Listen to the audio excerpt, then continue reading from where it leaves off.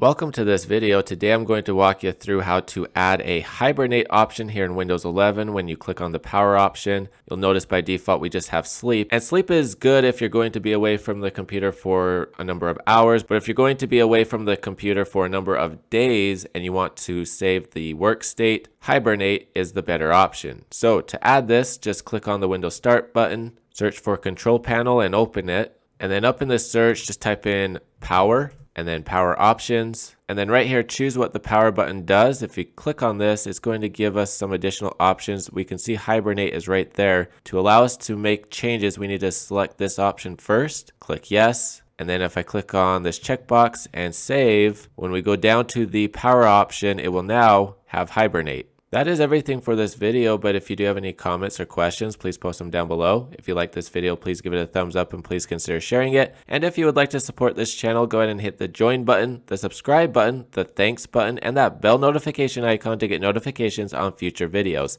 Thank you very much for watching. Hope you have a great day.